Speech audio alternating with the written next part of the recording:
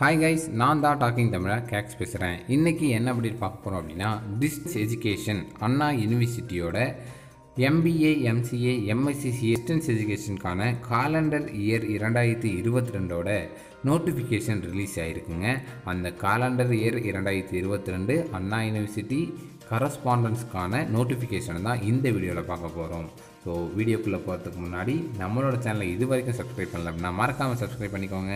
அப்போ தான் நம்ம தரக்கூடிய அடுத்தடுத்த அப்டேட்ஸ் உங்களுக்கு நோட்டிஃபிகேஷன்ஸாக வந்துக்கிட்டே இருக்கும். ஸோ வாங்க இன்றைக்கி வீடியோக்குள்ளே போகலாம். இந்த கரஸ்பாண்டன்ஸை பொறுத்த வரைக்கும் நான் உங்களுக்கு மூணு வீடியோவாக தருவேன். ஸோ இதில் ஃபஸ்ட்டு வீடியோ தாங்க இது. இதில் நோட்டிஃபிகேஷனை மட்டும் உங்களுக்கு எக்ஸ்பிளைன் பண்ணுவேன். இந்த நெக்ஸ்ட் வீடியோவில் கேண்டிடேட்ஸ்க்கான இன்ஸ்ட்ரக்ஷன் சொல்லுவேன். தென் அதுக்கும் அடுத்த வீடியோவில் எப்படி அப்ளை பண்ணணுங்கிற ஸ்டெப்ஸை சொல்லுவேன். தென் எப்படி அப்ளை பண்ணணுங்கிறதையும் காமிச்சிருப்பேன். சரிங்களா? ஸோ இது தாங்க உங்களுக்கான மூணு வீடியோ டிஸ்டன்ஸ் எஜுகேஷன் அண்ணா யூனிவர்சிட்டியை பற்றினது ஸோ வாங்க வீடியோக்குள்ளே போவோம்.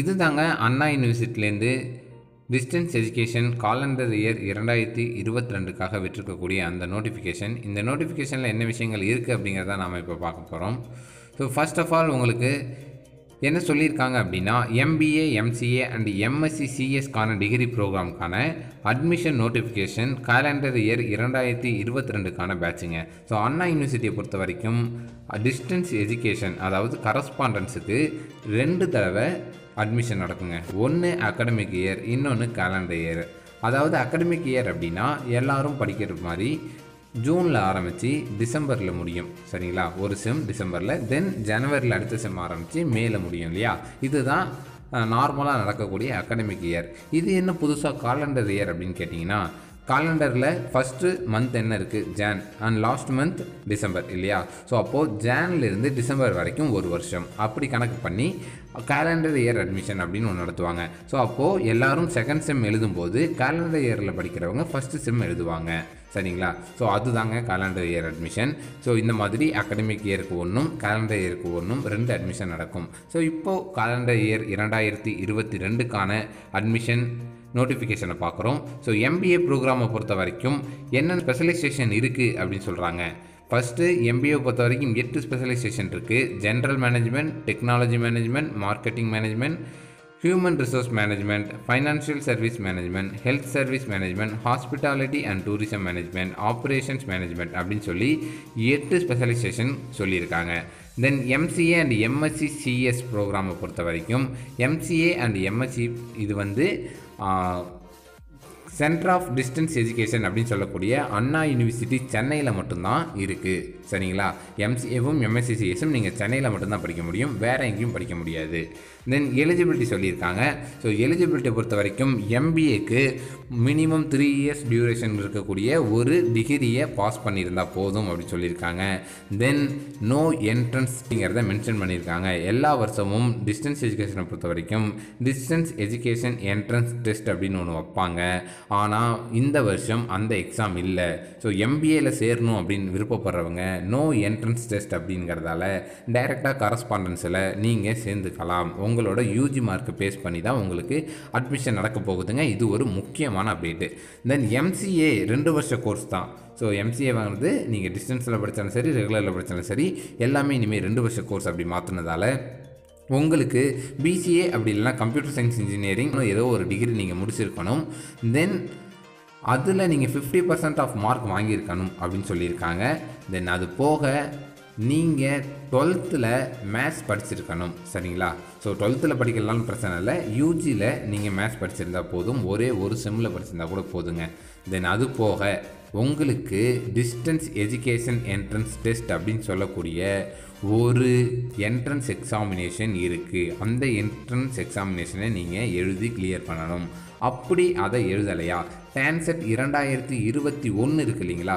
போன வருஷம் நடந்த டான்செட் அதில் எம்சிஏ வந்து நீங்கள் எழுதியிருப்பீங்க. அந்த மார்க்கை வச்சு கூட நீங்கள் அட்மிஷன் போட்டுக்கலாம். இப்போ புதுசாக டிஸ்டன்ஸ் எஜுகேஷன் என்ட்ரன்ஸ் டெஸ்ட் முடிஞ்சால் எழுதுங்க.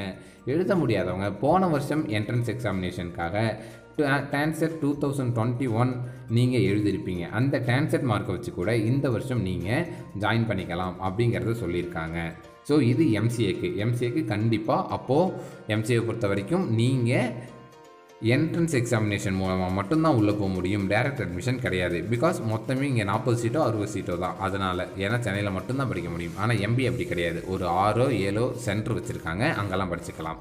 இந்த நடு அடுத்தது எம்எஸ்சி சிஎஸ் எம்எஸ்சி சிஎஸை பொறுத்த வரைக்கும் பார்த்தோம் அப்படின்னா நீங்கள் ஒரு மூணு வருஷம் கோர்ஸ் முடிச்சிருக்கணும். தென் மேத்தமெட்டிக்ஸ் வந்து ஒரு சப்ஜெக்டில் படிச்சிருக்கணும். அதாவது ஹையர் செகண்டரி லெவல் அப்படி இல்லைனா கிராஜுவேஷன் லெவல்னு சொல்லியிருக்காங்க. ஸோ அது ஒரு செம்மில் நீங்கள் படிச்சிருந்தா கூட போதும். இதுக்கு நோ என்ட்ரன்ஸ் டெஸ்ட் சரிங்களா? எம்எஸ்சி சிஎஸ்க்கும் என்ட்ரன்ஸ் டெஸ்ட் கிடையாது. தென் பேச்சுலர் டிகிரி வந்து நீங்கள் டென்த்து ப்ளஸ் டூ அண்டு மூணு இல்லைனா நாலு வருஷம் இயர்ஸ் பேட்டர்னில் படிச்சிருக்கணும். ஒருவேளை நீங்கள் டிப்ளமோ முடிச்சிருக்கீங்க அப்படின்னா நீங்கள் வந்து அதுக்கப்புறம் டிப்ளமோ முடித்து அடுத்து ஒரு மூணு வருஷம் கோர்ஸ் முடிச்சிருக்கணும். ஸோ அதுதான் வந்து உங்களுக்கான எஜுகேஷன் பேட்டர்ன் அப்படின்னு சொல்லியிருக்காங்க. தென் அடுத்தது eligible candidates will be called for counselling so நீங்கள் அப்ளை பண்ணுங்கள் யாரெல்லாம் எலிஜிபிளோ அவங்க எல்லாரும் நாங்கள் கவுன்சிலிங்க்கு கூப்பிடுவோம் அப்படின்னு சொல்லியிருக்காங்க. Then entrance test will not be conducted for MBS per the circular AICTE dated twenty nine nine two thousand டுவெண்ட்டியில் ஏஐசிடிஇ அப்படிங்கிற அந்த கவுன்சில் உங்களுக்கு எம்பிஏக்கான டிஸ்டன்ஸ் எஜுகேஷனுக்கு இனிமேல் நீங்கள் என்ட்ரன்ஸ் எக்ஸாமினேஷன் வைக்காதீங்க அப்படின்னு சொல்லிட்டாங்க. அதனால் இவங்களும் கண்டக்ட் பண்ணலை. சரிங்களா? தென் அடுத்தது admission will be done based on the marks opening இந்த குவாலிஃபைங் எக்ஸாமினேஷன் ஸோ உங்களுக்கான அட்மிஷன் உங்களோட யூஜி மார்க்கை வச்சு தான் நடக்கும் அப்படிங்கிறதையும் சொல்லிட்டாங்க. தென் அடுத்தது இம்பார்ட்டன்ட் டேட் சொல்லியிருக்காங்க. அதுதான் ரொம்பவே இம்பார்ட்டண்டானது last date registration and submission எம்சிஏக்கு எப்போ அப்படின்னு கேட்டிங்கன்னா twenty five three two thousand twenty two so இன்னும் டுவெண்ட்டி ஃபைவ் டேஸ் இருக்குது then date of entrance ex test எம்சிஏக்கு எப்போ அப்படின்னா twenty seven three two thousand twenty two so அப்போது உங்களுக்கான last date registration and சப்மிஷனுக்கு twenty five three two thousand twenty two தான் last date then நீங்கள் entrance எக்ஸாமினேஷனுக்கு twenty seven three two thousand twenty டூவில் எழுதுவீங்க. Then last date submission for MBA and MSc CS அப்படி எப்போ அப்படின்னு கேட்டிங்கன்னா twenty eight three two thousand twenty two அது என்னங்க சப்மிஷன் அப்படின்னு கேட்குறீங்களா எல்லாம் ஆன்லைனில் தான் அப்ளை பண்ணுவீங்க. அப்ளை பண்ணதுக்கப்புறம் அந்த அப்ளிகேஷன் காப்பி நீங்கள் சென்ட் பண்ணுற மாதிரி இருக்கும்னு நினைக்கிறேன். So refer our website for further details on entrance test entrance test பற்றின டீட்டெயில்ஸுக்கு நீங்கள் ரெஃபர் வெப்சைட்டை ரெஃபர் பண்ணிக்கோங்கன்னு சொல்லியிருக்காங்க இந்த ஆன்லைன் அப்ளிகேஷன் பாருங்கள் application can fill the particulars through CDE website and make payment rupees 767 including GST towards application fees அப்படின்னு சொல்லியிருக்காங்க ஸோ உங்களுக்கான அப்ளிகேஷன் ஃபீஸ் எழுநூற்றி அறுபத்தி ஏழு ரூபாய். சரிங்களா? அதை நீங்கள் ஆன்லைன் மூலமாக தான் பே பண்ணணும். அப்ளிகேஷனும் ஆன்லைனில் தான் அவைலபிளாக இருக்குது அதுக்கான வெப்சைட் சிடிஇ அப்படின்னு சொல்லியிருக்காங்க அதாவது centre for distance education Anna university அப்படின்னு தட்டினீங்கன்னா வரும். சரிங்களா? அடுத்தது the downloaded application along with relevant certificate should be submitted to the director centre for distance education Anna university Chennai ஆறு லட்சத்தி இருபத்தஞ்சு. On or before the last day through post or in person அப்படின்னு சொல்லியிருக்காங்க அதாவது நீங்கள் அப்ளிகேஷனை ஆன்லைனில் fill பண்ணிவிட்டு அது கூடவே நாங்கள் கேட்டிருக்கக்கூடிய சர்டிஃபிகேட்ஸோட காப்பி எல்லாத்தையும் நீங்கள் வச்சு எங்களுக்கு நேரில் வந்தோ அப்படி இல்லைனா போஸ்டல் மூலமாகவோ நாங்கள் சொல்லியிருக்கக்கூடிய இந்த மேலே இருக்கிற இந்த இம்பார்ட்டன்ட் லாஸ்ட் டேட் இருக்கு இல்லையா? இந்த லாஸ்ட் டேட்டுக்கு முன்னாடி சப்மிட் பண்ணியிருக்கணும் அப்படின்னு சொல்லியிருக்காங்க தென் உங்களுக்கான வெப்சைட் பாருங்கள் கரண்ட் அப்டேட்ஸ் எல்லாம் இங்கே கொடுத்துருக்காங்க.